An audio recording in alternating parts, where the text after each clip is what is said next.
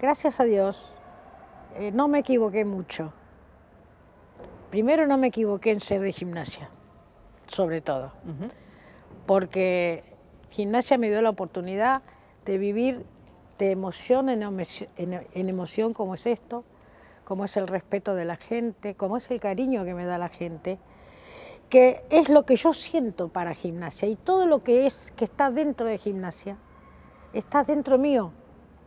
Es, es así. Perfecto. Yo lo, lo, lo, puse en, en, las jugadoras, lo puse en mis hijos que, que tienen la camiseta de gimnasia y lo que yo quiero lograr siempre para gimnasia, más allá de los éxitos, que la gente sea buena.